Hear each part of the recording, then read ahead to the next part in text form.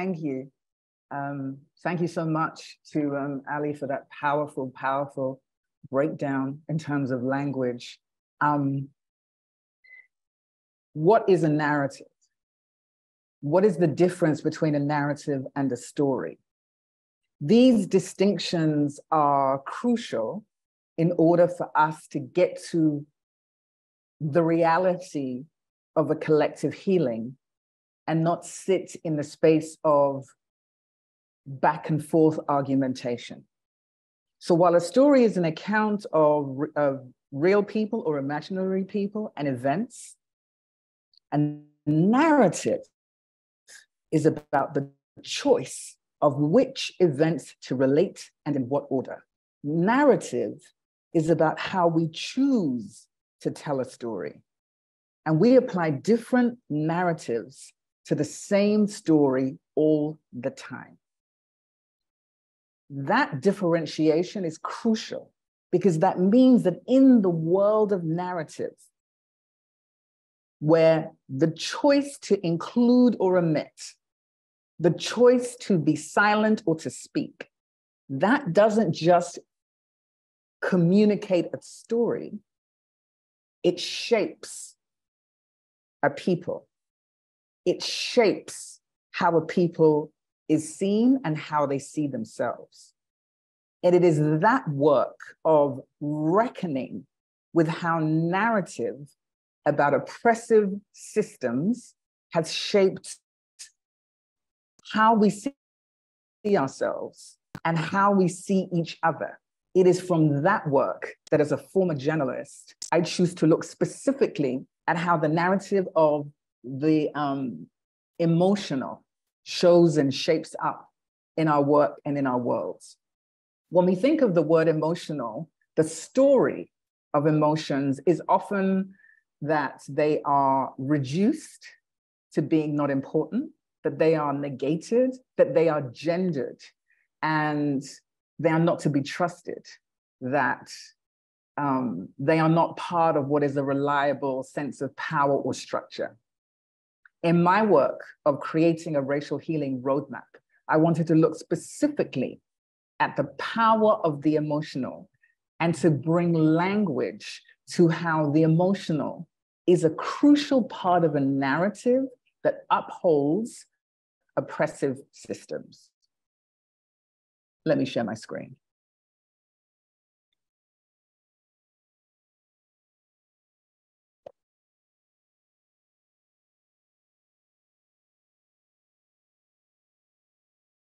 So, emotional justice is my response to reckoning with narrative that has shaped us, but also really bringing language to the work and the world of the emotional and how it speaks to oppressive systems. Ali broke down beautifully how these oppressive systems have been structured and the work that they do to create economies. I want to move from the often language of the fiscal economy and how that resource is told, and I want to explore what I call the emotional economy. Emotional justice, a racial healing roadmap and framework that I created. So, what does emotional justice do?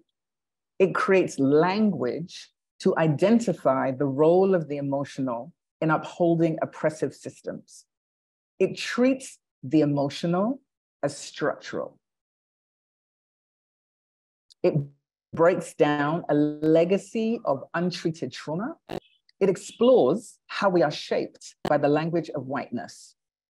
And it identifies the emotional work of each demographic in racial healing and dismantling inequitable systems. This is crucial. I am talking to you from Accra, the capital city of um, Ghana. This is part of a continent that has been fed a narrative of the absence of language. And a language had to be introduced and imposed in order to teach us to communicate. That is a narrative that uses and engages power as a means of reduction in terms of identity.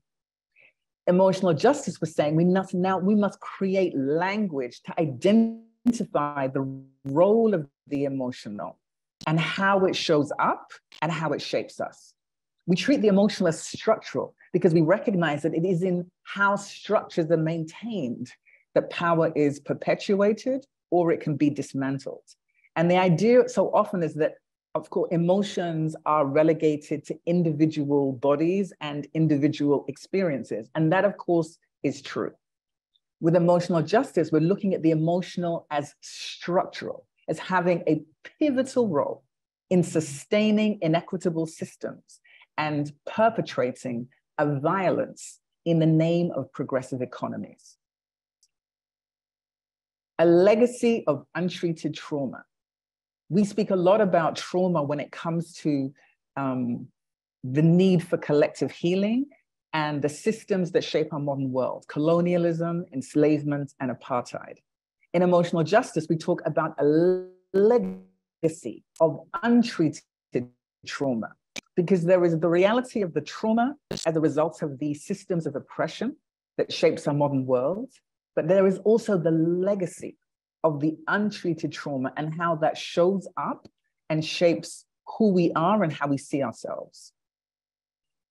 In thinking about narrative specifically, this roadmap explores how we are shaped by what we call the language of whiteness, which I'm about to break down. And crucially, emotional justice argues that in order to get to collectivity, we must start with specificity.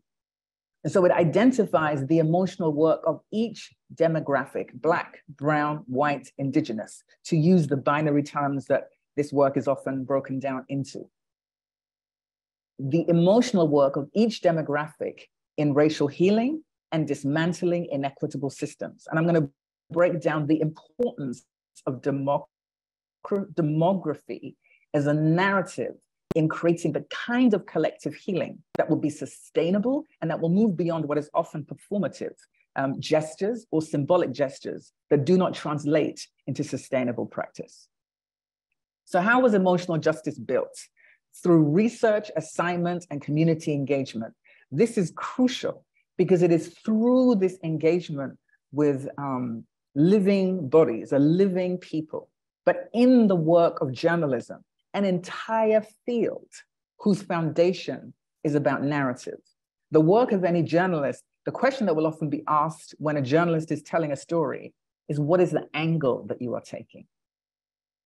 Another way to say that is what is the narrative that you choose to share in order to communicate that set of facts?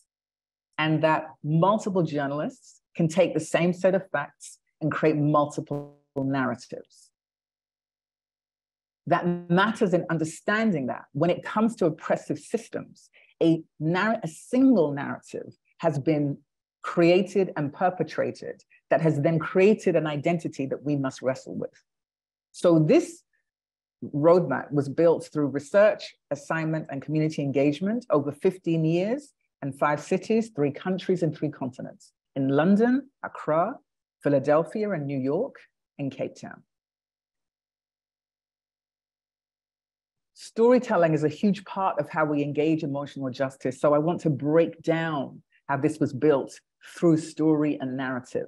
You're looking at three pictures of three specific assignments of major incidents that I ended up covering as a, as a journalist. So on the far left-hand side at the top, this is Ghana, 40 years of independence. The image on the far left is Black Star Square, and you're seeing thousands and thousands of Ghanaians gathered with their Ghanaian flags. The image in the middle is um, Ghana's first president, Kwame Nkrumah, and stamps marking the 40th. The image on the right is an image of the first president, Kwame Nkrumah. Behind him is my beautiful dad, God rest his soul, and the two little girls are my elder sisters. The image on the bottom left-hand side is Philadelphia. That's the Million Woman March. On the left, that is Eakins Oval in Philadelphia. Looking at thousands and thousands and thousands of Black women who came from all over America and the world for this event. On the right hand side, you're looking at an image of Winnie Mandela in the red and the white head wrap. In front of her, the gentleman in the baseball cap and the, the beard is Dick Gregory. And then the picture on the right is um, South Africa, the Truth and Reconciliation Commission. On the right, the top right, you're looking at Nelson Mandela and Desmond Tutu. The image below, again, is Winnie Mandela in a white head wrap. The image on the left are the Truth and Reconciliation Commissioners. Um, right in the front is Desmond Tutu.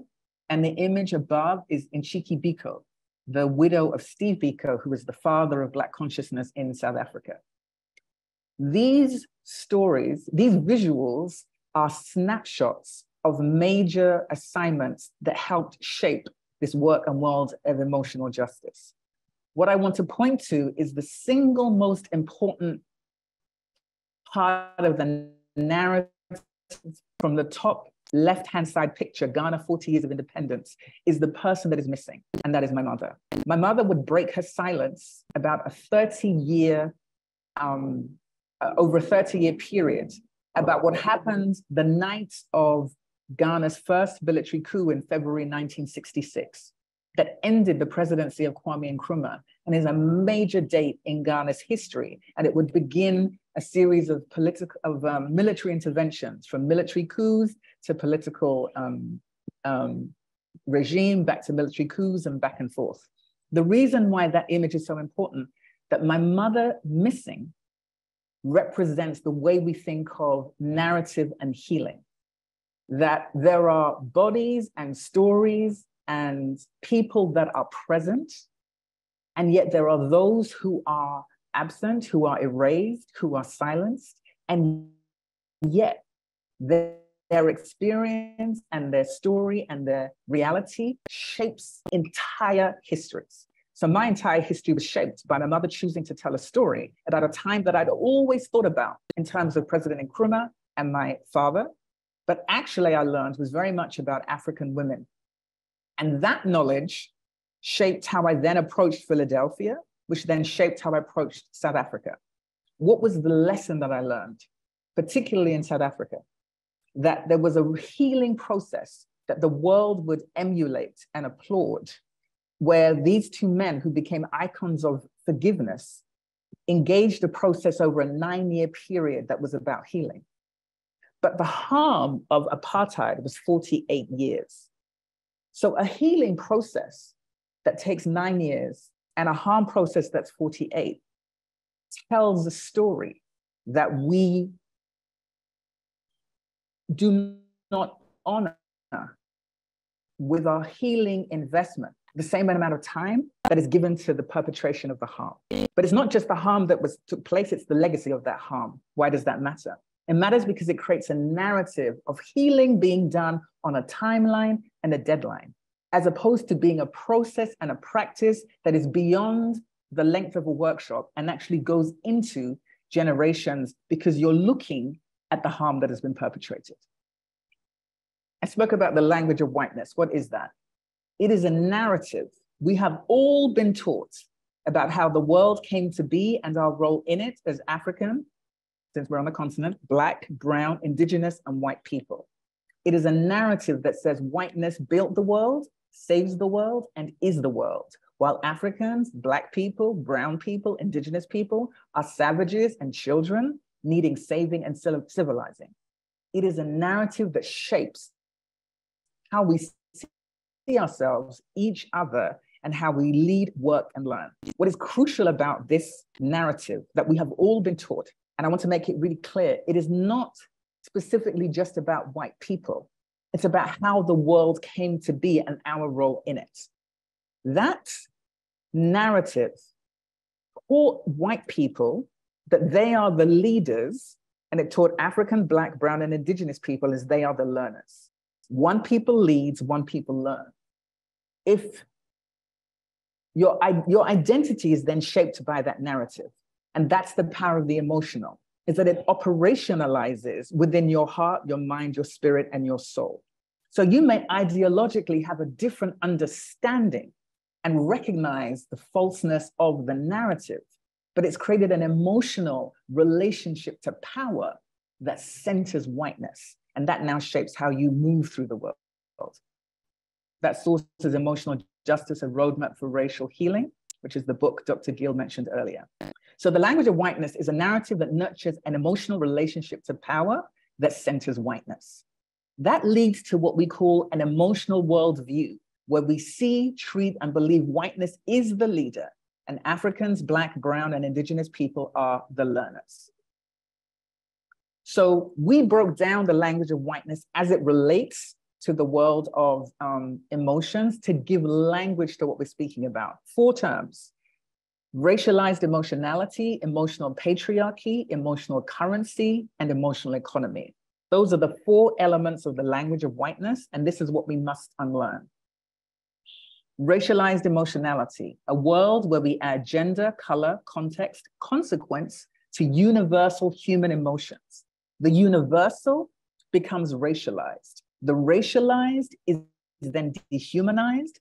The dehumanized becomes the ongoing targets of violence. Emotional patriarchy, a society that centers, privileges, and prioritizes the feelings of white men and white people, no matter the cost or consequence to all women and Black, Brown, and Indigenous peoples.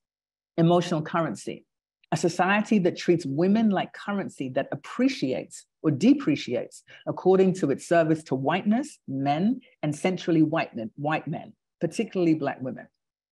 Emotional economy, a world that makes decisions, acts, creates policy that revolves around the feelings of white men and is relentlessly driven by those feelings, regardless of the harm to the health of a nation. It functions to sow division, to plant seeds that segregate, and to spin narratives that separate. So if you're going to unlearn the language of whiteness, what do you replace it with? We call them the emotional justice love languages. We use love language intentionally because it's about an affirmation and affirming and, a, and a, uh, creating a practice that allows you to move from what you must unlearn and replace it with something new. There are four intimate reckoning, intimate revolution, resistance negotiation, revolutionary Black grace. Intimate reckoning, it's for white women and men to do the emotional labor of severing their connection to power and race that upholds a white masculinity centering the subjugation and exploitation of Black, Brown, and Indigenous people and white women. That means to stop defending, supporting, uplifting, and cheering a white masculinity that sustains the language of whiteness and shapes white men's emotional connection to and relationship with power and race. Um, just in the interest of time, I'll just describe one more and then we'll move on. Number two, intimate revolution. For um, Black women and Brown women and Indigenous women globally to unlearn the language of whiteness that teaches them their sole value is labor and connects labor to value and worth. The intersection creates a relationship to labor about value. And that intersection shapes a notion that the only value you serve is the labor that you produce that is outside of yourself. The other two, three is resistance negotiation, and number four is re revolutionary Black grace. What is important about these three, these four, the four love languages and unlearning the language of whiteness is they are broken down into demographics. So intimate reckoning is the emotional justice love language of white um, people, white women and white men. Intimate revolution is the love language of Black people, African people, Brown people, Hispanic people, Indigenous people. Resistance negotiation is specifically about white people and what it means to navigate the feelings that occur when you're being challenged about issues of race in order that you can step into collective healing environments and do the work and come away and continue to do the work. Revolutionary Black Grace, specifically about the healing work that needs to be done between global Black people on the continent and throughout the um, diaspora and global Africa. We all have our emotional work to do, but that work is not the same for every demographic. It is emotional labor, we are building an emotional ecosystem and we are navigating an emotional worldview. In order to navigate an emotional worldview successfully, you must identify it. If you do not identify it, how do you unlearn what continues to be perpetrated in your name? I break all of this down. You see this visual. Um, you're looking at a visual of a Black woman's back. Emotional Justice, a Roadmap for Racial Healing. That's the title of the book. Everything is broken down in that book.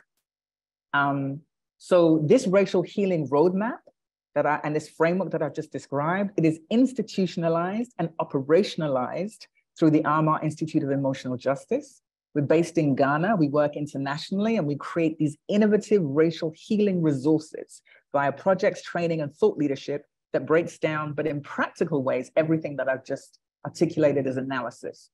These are some examples of our projects. I won't go through all of them, but I'm going to focus on one. Healing harm, healing history. So this project focuses on global racial healing across the continent and the diaspora. And we specifically use the um, orality, the ancestral powers, and storytelling. So it engages drum, dramatization, and dialogue. It has three themes intergenerational dialogue, notions of belonging, and narratives of power. What we do is that we take the ancestral wise ways, we evolve, digitize, and um, revolutionize them because this racial healing roadmap is about evolving the racial healing roadmap of South Africa and saying that the challenge with that roadmap is it deadlined our healing and it centered whiteness. It was then exported all over the world. But we're dealing in a time of contested narrative about a singular history. No one questions that it was enslavement, but the contestation is the idea that slavery somehow was beneficial even to those who were enslaved. Those contested narratives um, impede any kind of collective healing. Healing harm, healing history. The next one is in September here in Accra, where we will be bringing people together at the Library of Africa and the African Diaspora, a beautiful space. Important, listen to the name, the Library of Africa and the African Diaspora because we're bringing generations of Black people together in person in Accra, but then partnering with an old civil rights organization in, the, in, the, uh, in America. All of the people that are Black, bringing everybody together to explore what we call the 4H circle. What does it mean to heal harm but heed history? You cannot have a sustained collective healing that is not heeding history. There can be no emotional justice without the equal division of emotional labor. The, re- the reason this is crucial is these oppressive systems of enslavement and apartheid and colonialism rested on unequal labor. That there were a whole group of people doing the labor, and there was a group of people who were the beneficiaries of that labor. Importantly, the emotional worldview that has shaped so many of us is that the idea of one person being the leader, one person being the le- learner, means that there is an expectation that there's always one group doing the emotional labor, being fixed, in other words, being taught, being shaped, and another group leading that charge. That cannot take us to collective healing. And when we talk about collective healing, we're talking about developing a process and a practice that moves and lasts beyond the length of a workshop, but is actually generations deep. Um, this is our work to do. So we are the healers we have been waiting for. We are the dismantlers we have been waiting for. This is emotional justice. That is a crucial point to end on because our training takes account of the narratives that have shaped us, that have led to this notion of who gets to be the learner and who gets to be the leader. And in developing this uh, international institute that is here in Ghana. We work across the continent, but also in the US and in the UK, developing these resources through projects and training and thought leadership with universities and foundations in the US, with teaching institutions in the UK, developing um, um, projects here in Ghana, all of which are designed to say that our collective healing requires a specificity a nuance and a detail that understands the power of the emotional in order to transform a narrative that has been singular, but has been devastatingly effective in shaping all of us Black, brown, white, indigenous. We all have to unlearn the language of whiteness, and the way forward is emotional justice. Thank you.